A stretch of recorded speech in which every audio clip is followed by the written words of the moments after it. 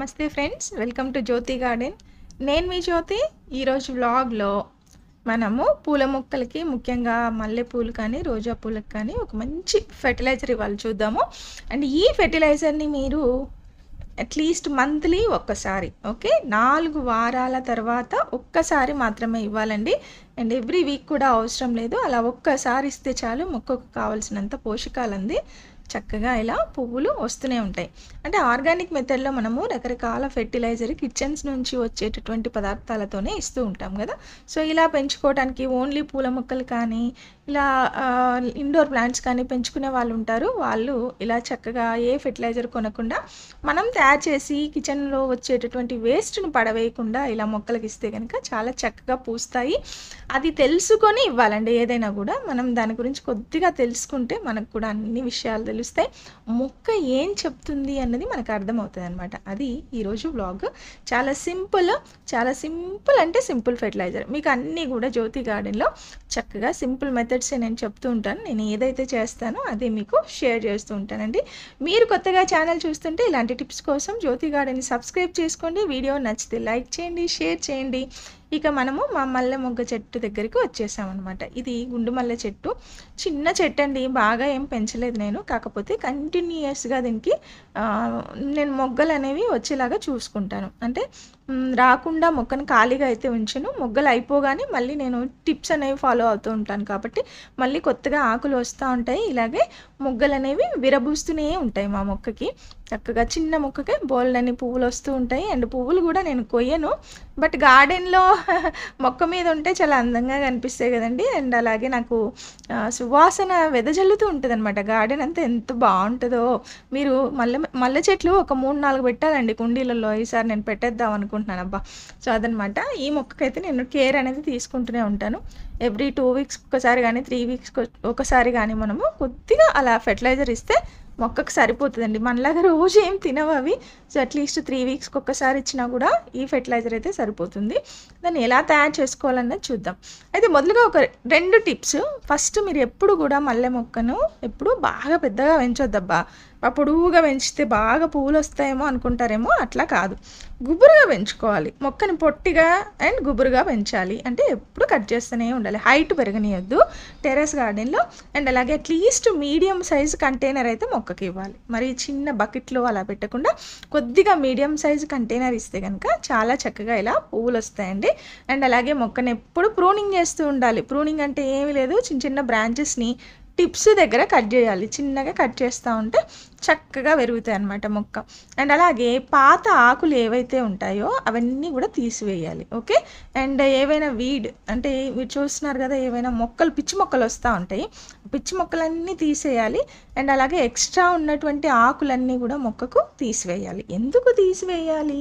ఏమైనా అవుతుందా జ్యోతి గారు? అంటారేమో మొక్కకు ఆకులు ఎక్కువగా ఉండాల్సిన అవసరం లేదండి. మొక్క ఆహారం తయారు చేసుకునేనన్ని ఆకులు వదిలేస్తే చాలు. మిగతా ఆకుల్ని తీసేయాలి. లేదంటే మనం ఇచ్చే ఫెర్టిలైజర్ మొత్తం మొక్కనే తీసేసుకుంటుంది అనమాట సో అది ఎక్కువగా పెరగడం మీద కాన్సన్ట్రేట్ చేస్తుంది. ఇంకా మొగ్గల మీద పువ్వుల మీద చెయ్యదు. కాబట్టి ఇలా మొత్తం కొద్దిగా తీసేసి అక్కడే వేసేయండి. అదే కుండీలో. వేయటం వల్ల ఏంటంటే మల్చింగ్ అయిపోతుంది కదా చక్కగా. సో అదనమాట ఇలా చిగుర్లు వచ్చేస్తాయి మళ్ళీ.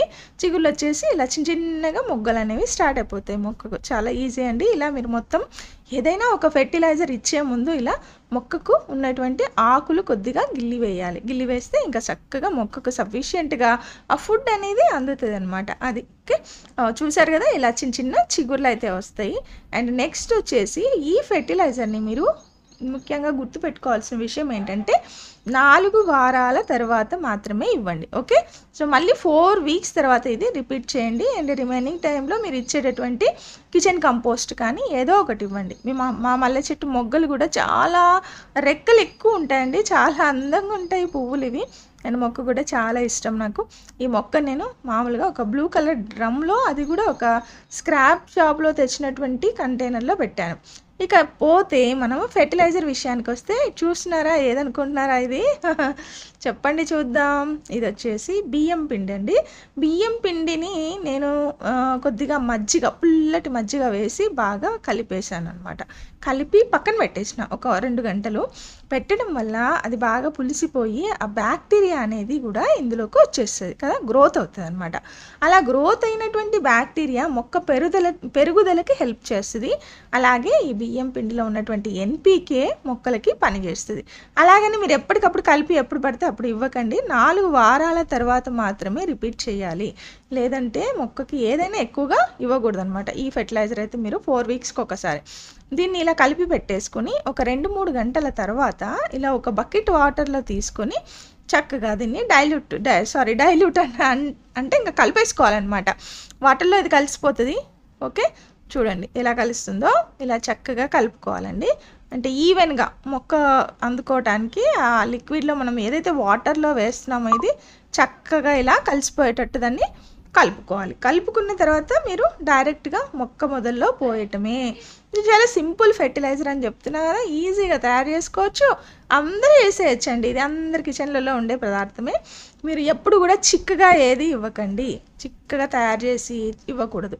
ఓకే ఇలా ఎంత లూజ్గా ఉంది చూసారా? ఎంత డైల్యూట్ చేశాను నేను ఎన్ని వాటర్?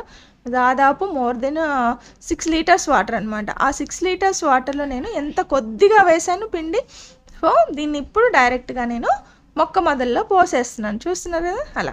సో జస్ట్ డైరెక్ట్గా మొక్క మొదల్లో పోయటమే. ఇంకొక చిన్న టిప్ ఏంటంటే ఇక్కడ మనము ఫెర్టిలైజర్ ఇచ్చే ముందు ఆకులన్నీ తీసేసాం కదా? అలాగే సాయిల్ కూడా లూజ్ చేస్తే డైరెక్ట్గా ఇది రూట్స్కి అందుతుంది. అట్లీస్ట్ మీరు ఇచ్చిన తర్వాత ఇప్పుడు మార్నింగ్ ఇచ్చామనుకోండి ఈవినింగ్ ఒకసారి మళ్ళీ సాయిల్ని కొద్దిగా కదిలించాలి.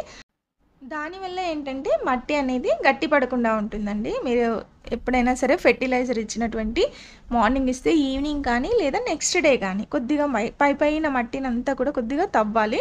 దానివల్ల ఏంటంటే మట్టి అనేది ఎట్టి పరిస్థితుల్లో గట్టిపడదు. లేదా ఏవైనా కీటకాలు కూడా ఆకర్షింపబడవు అనమాట అలా ఇలా మొక్కకి మనం ఫెర్టిలైజర్ ఇవ్వడం వల్ల అండ్ కొన్ని రకాల పెస్ట్ కూడా కంట్రోల్ అవుతుంది. ఎందుకంటే ఈ బ్యాక్టీరియా అంతలా హెల్ప్ చేస్తుంది మొక్కకి. సో అలా అని మీరు బాగా పనిచేస్తాయి కదా అని ఇమీడియట్గా మళ్ళీ తొందరపడి ఫాస్ట్ ఫాస్ట్గా ఇస్తూ ఉంటారు. అలా కాకుండా మీరు చెప్పాను కదా మీరు నాలుగు ఏ ఫెర్టిలైజర్కైనా ఒక పర్టికులర్ టైం ఉంటుంది. దీనికి మాత్రం మీరు నాలుగు వారాల తర్వాత ఇస్తే చూడ చూసారు కదా ఇక్కడ? ఎంత బంచెస్ బంచెస్ వస్తున్నాయి కదా మా మల్లె మొగ్గలు. అంత బ్యూటిఫుల్గా వస్తాయండి. మీరు కూడా అలాగే ఇలాగే మీరు తీసుకోవచ్చు మొక్క నుండి అదనమాట ఇవాళ వ్లాగ్. మీకు నచ్చిందా? ఎలా ఉంది ఈ టిప్?